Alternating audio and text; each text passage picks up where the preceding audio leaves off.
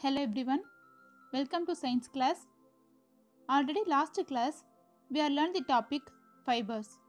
In this session we are going to learn the topic grains. Grains is a small, hard and dry seeds. Two main types of commercial grains crops are cereals and then legumes. Some of whole grains are wheat, maize, rice, beans, peas, barley and then millets. Now see the few example of grains. First one wheat. It is the most important crops cultivated in the world. Whole wheat is important because it contains fiber, vitamins and then minerals.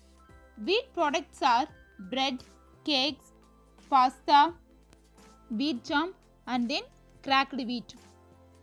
Next is the topic maize. Its other name corn. In many tropical and subtropical countries, Mexico and then America, maize is the main food that people eat.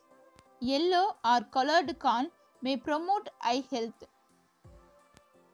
It's also contain the source of many vitamins and then minerals.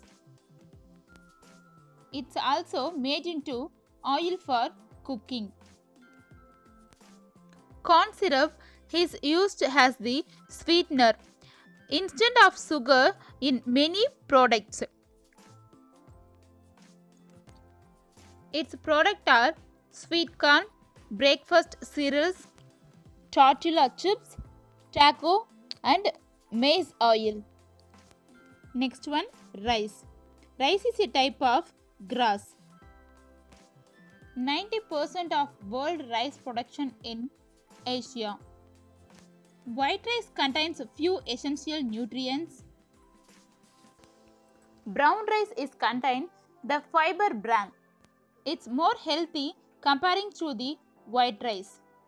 Some food items are rice idli, idiyappam and rice. Next one millets. Millets are a group of small seeded grasses. It's help in weight loss.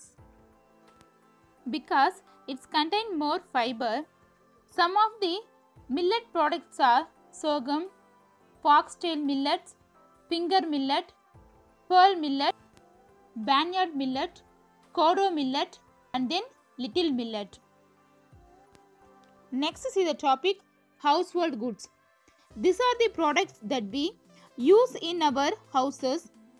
The good that are the found in a house permanently are called household goods.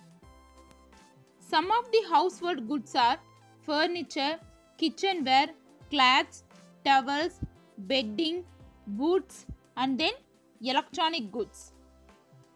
Okay children, I hope you all are understood in these topics. Prepare well. Thank you.